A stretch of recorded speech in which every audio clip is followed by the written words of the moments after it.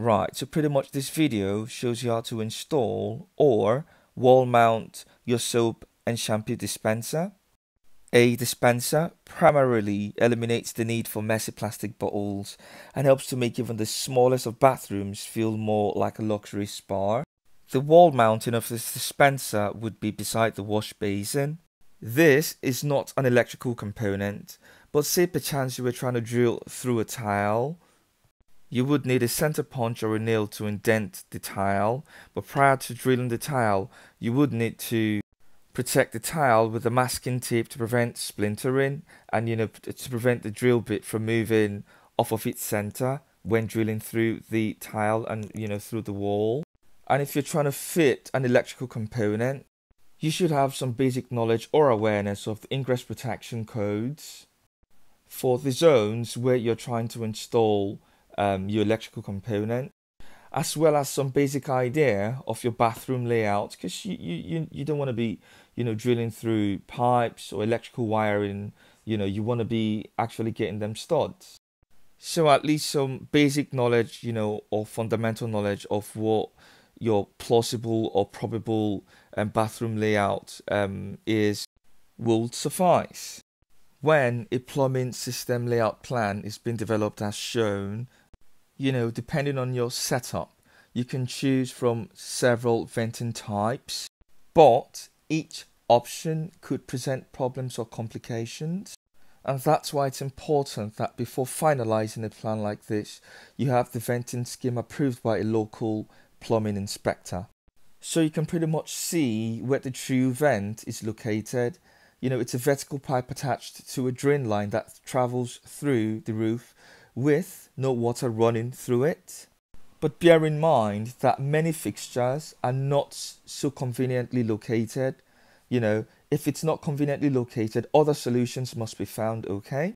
Whereas the revent pipe that you see there is also called an auxiliary vent. It it attaches to the drain line near the fixture and runs up and over to the main vent. In your bathroom, you may also find that it's been attached directly behind the fixture or to the horizontal drain line. You know, depending on your bathroom layout setup, you might have two fixtures, you know, on the opposite sides of your wall. You know, they usually tie into the stack with a sanitary cross, and that's what we've got exemplified um, as shown.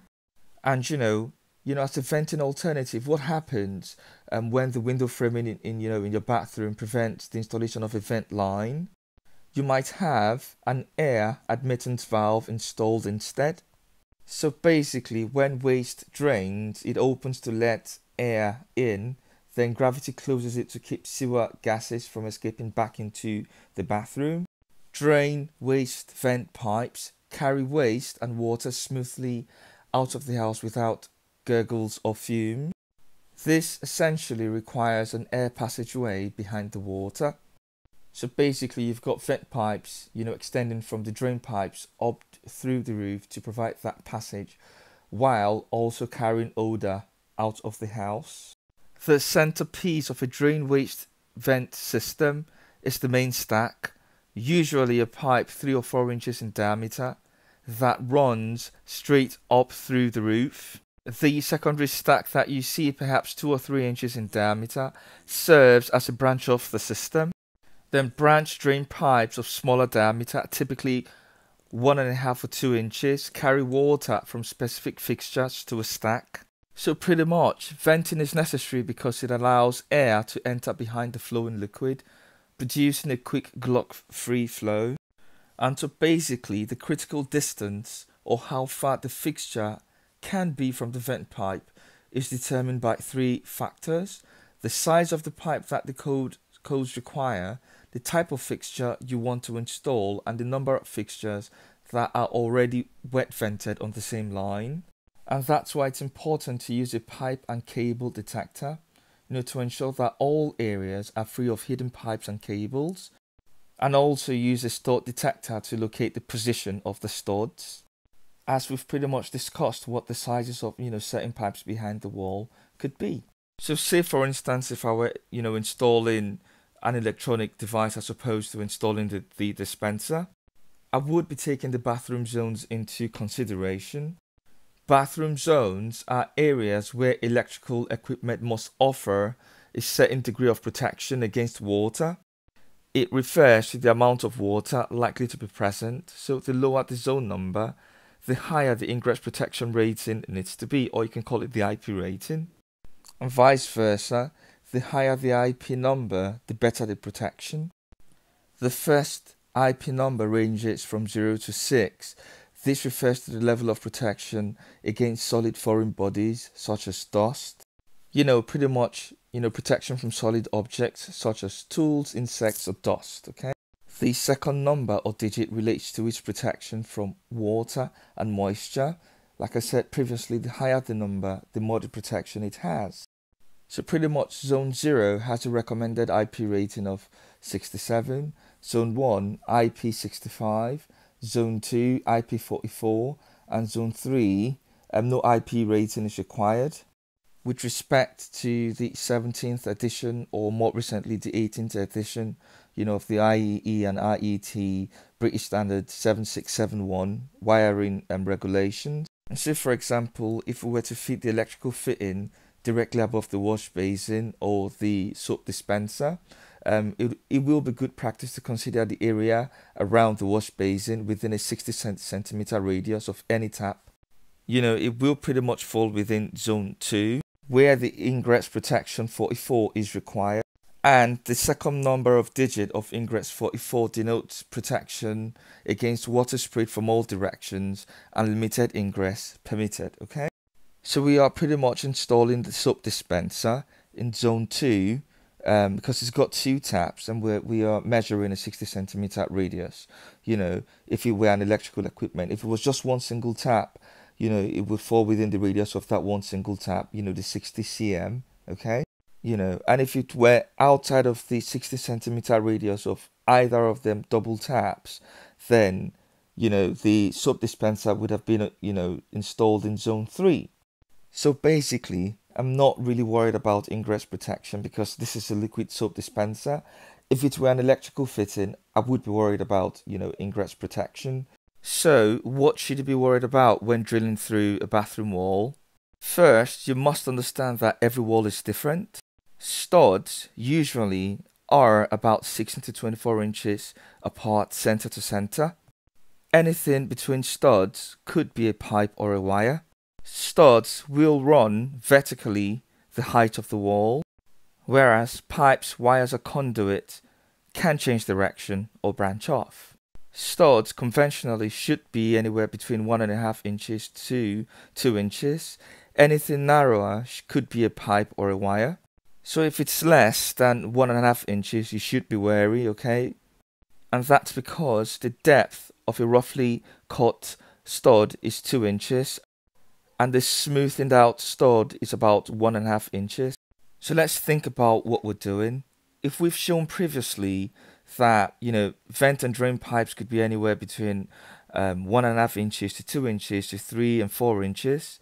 And we've also got stud here that could be anywhere between one and a half inches and two inches. And you know, we've also got cold or hot water pipes, you know, copper or metal pipes, as well as timber stud walls that are over five inches then it is absolutely imperative that you have stud finders or pipe and cable detectors so that you avoid, you know, drilling through a water pipe or a metal pipe or a conduit pipe that, that's got wiring. Suffice to say, every wall is different.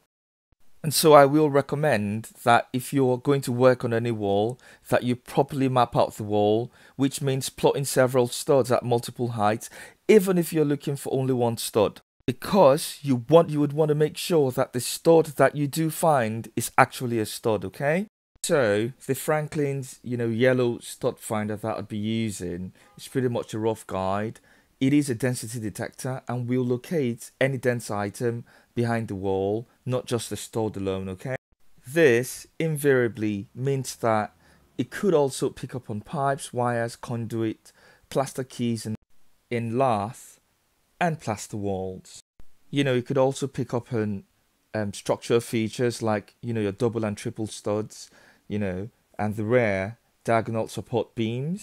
And you know, I would recommend that you know you place two or more stripes of masking or painter's tape at different heights on your wall and mark all objects on the tape rather than on your wall. That way you don't have to scrub off, you know, pencil marks or, or pen marks from your wall. And remember, studs run straight up and down, and pipes wires frequently change direction. But like I said, you know, just get a pipe, cable, or stud finder detector um, to be 100% sure.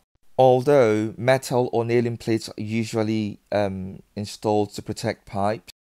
And why is it important? Just imagine if a trim carpenter who you know installs a baseboard shoots a finished nail right into the center of a cold water pipe um, in your bathroom on the other side of the wall.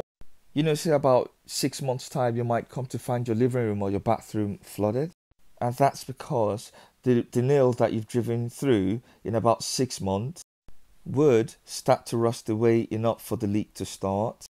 Initially, you might not have any flooding because the nail that you had driven into the pipe, you know, was blocking um, the the leak. Okay, so I've gone to great lengths to to try to to to make you take cognizance of the layout of your bathroom and you know the, the respective zones um, um, in accordance with the wiring regulations okay so i've been installing this soap dispenser firstly pretty much utilizing the franklin pro sensor 710 professional stud finder you know pretty much to locate the position of timber studs and then subsequently using a pipe and cable detector to ensure that all areas are free of hidden pipes and cables. So what am I trying to say? The stud finder alone should not be relied on exclusively to locate objects behind the scanned surface. Use other sources of information like your construction plans, visible points of entry of pipes, location of switches and outlets, you know, and the 16 inch and 24 inches stud spacing practices which I have mapped out, you know, on the wall here with two um, yellow 3M tapes. My expectation is that if we've got a 2x4 stud in the wall, its thickness should measure about one and a half inches. You know, pretty much a 2x4 lumber that's roughly cut actually measures one and a half inches thick and three and a half inches wide. And when it is milled from a rough to a smooth surface, it loses approximately a quarter inch from all of its four sides. Suffice to say, the thickness and the width are each reduced by approximately half inch. So behind the wall, you may have wooden studs or pipes that are about one and a half inches. The stud finder detects any inconsistency without identifying the nature of that inconsistency. So the three LED red light that lights up when you move the stud finder indicates that we might have a one and a half inch um, stud there because when you measure the three LED red points, it measures up measures up to one and a half inches. So you can see that we might have another stud there, but there's no way of telling if it's a wooden stud or a metal pipe. Okay, that's why we also need a pipe and cable or metal detector, as the illuminated LEDs or light emitting diodes, which which are the red lights that turn on, may indicate the location of many different features, including but not limited to studs, beams, water pipes, gas pipes, wires, and inconsistency in the surface material or paint.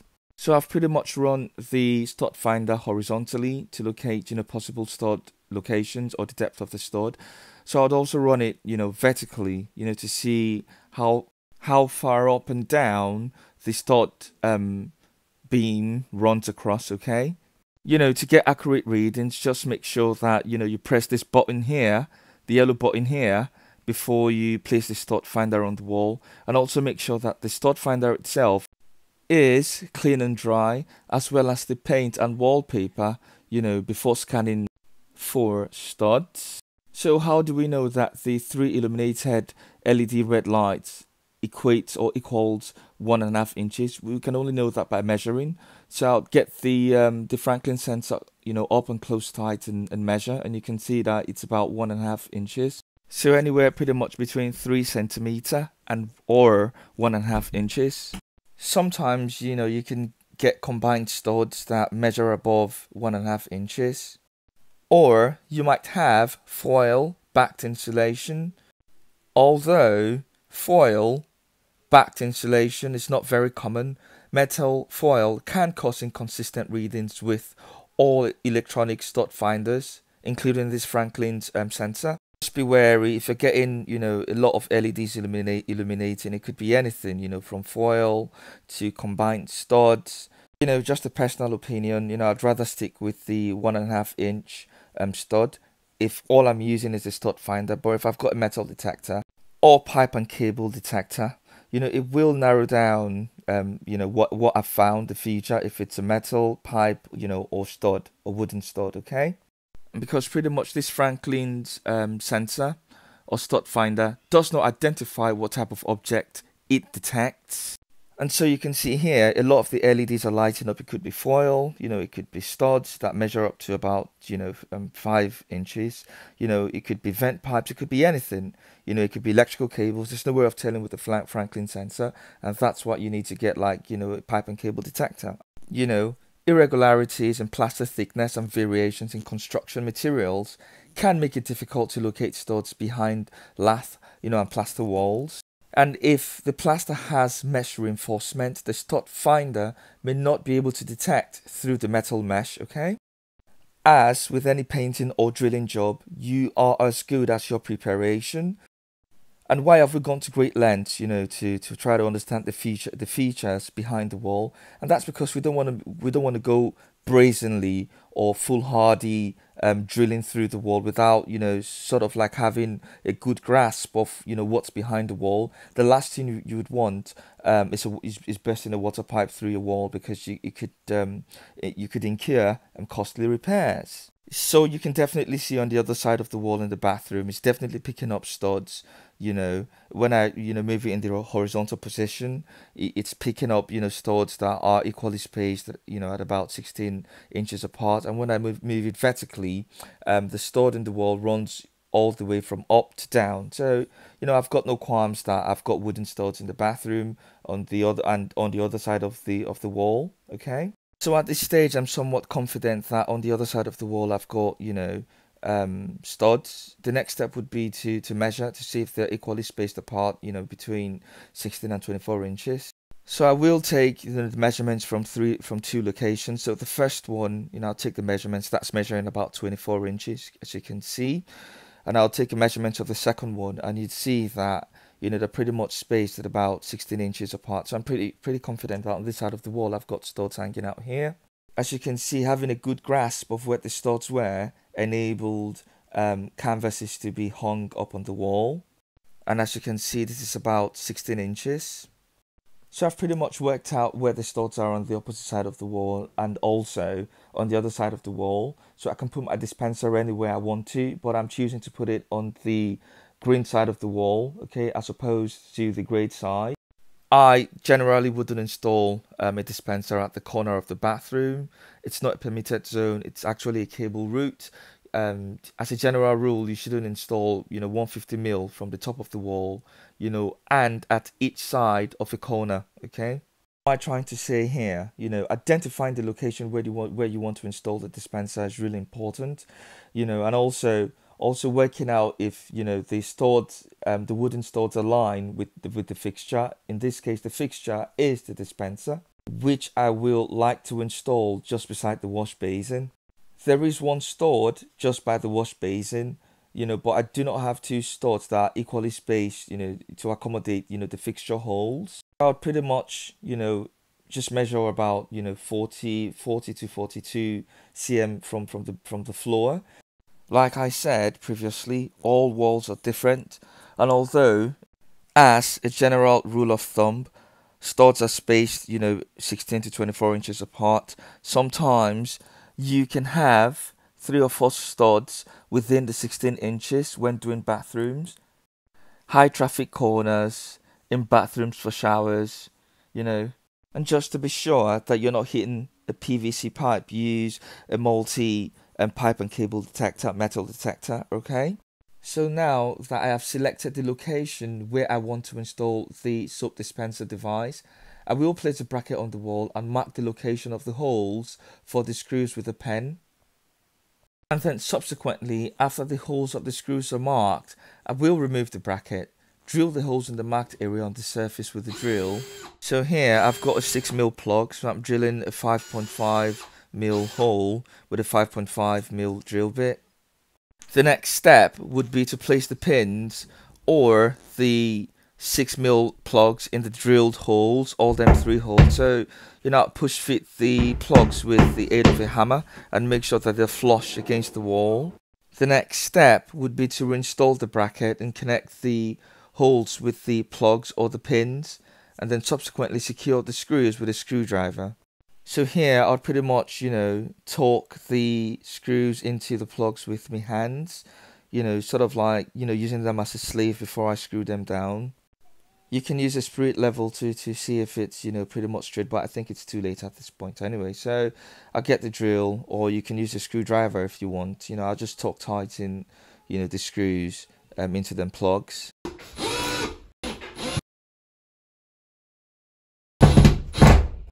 So I'd pretty much just tuck the rest of them holes. So the next step would be to replace the cover on the bracket back into the bracket until I hear the, the sound of a click. The next step would be to take out the soap tank device, and um, then install the fulcrum into the hole in the wall bracket cover, and then subsequently immediately place the device down until I hear a click sound. And to secure the bracket perfectly, I will place the key in the hexagonal hole in the bottom part of the bracket cover and then repeat the same process for the other soap tank device.